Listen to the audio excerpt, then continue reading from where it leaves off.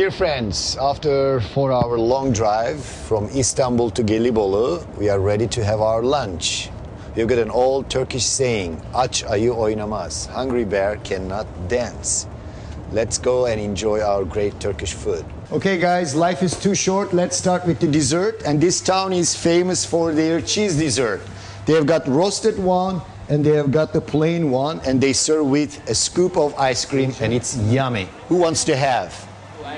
Who? Okay, you are sitting outside, you are sitting outside and we are getting the orders. Dear friends, the, the baked one with semolino is less sweet than this one. This is pure cheese. So you should start with this one, then go to the sweeter one, okay? A piece of this, a piece of ice cream, and then try that one.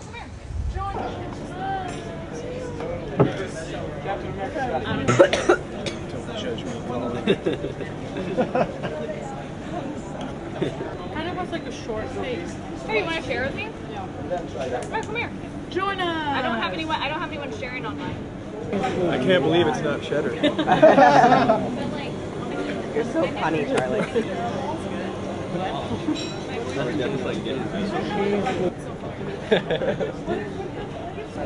Eating time. Ah.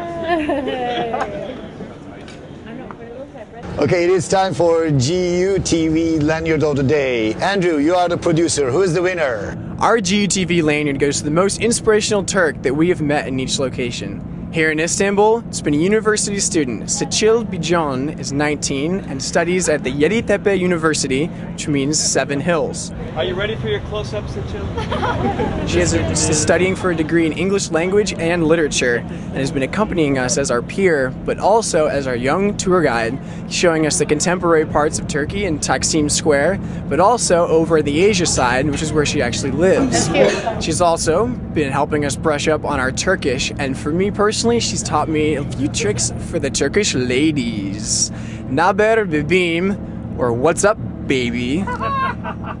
Dear friends, we spent three days in Istanbul and now I'm turning the table and I would like to ask you the questions.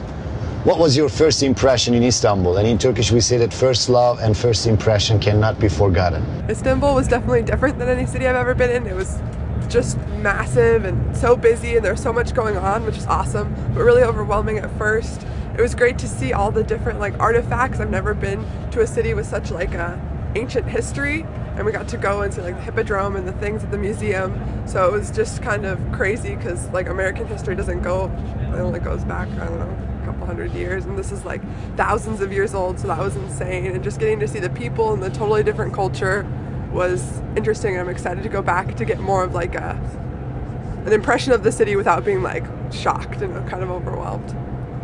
Um, when I got here, it was like the city couldn't contain itself. Like, you see shops like spilling out into the streets, and there's apartments everywhere, like that take up anything that businesses or monuments haven't already taken up. And then you get to the Istanbul Archaeological Museum, which has these like priceless statues that anywhere else would be inside and like totally protected, but instead these 6,000 year old statues are sitting outside where the elements can get them because even the museum can't contain that sort of thing. Well, I found the people in Istanbul to be overwhelmingly friendly, which I was really excited about.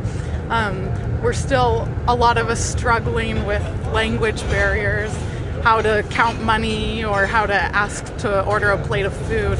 And the people here are really, really nice and really willing to work with us about, you know, using a little English or miming or doing something so that we can both be understood and have a good experience, which I was really, really excited about to find when I came here to Istanbul. Dear friends, we are done for today. Where do you want to go next? The viewers at home, please tell us where do you want to be? Assos, the very first archaeological digging for American teams abroad, or Alexandria Troas, the port city of Paul on his missionary journey to Europe. See you on the Turkish Zag travel show. Please watch us.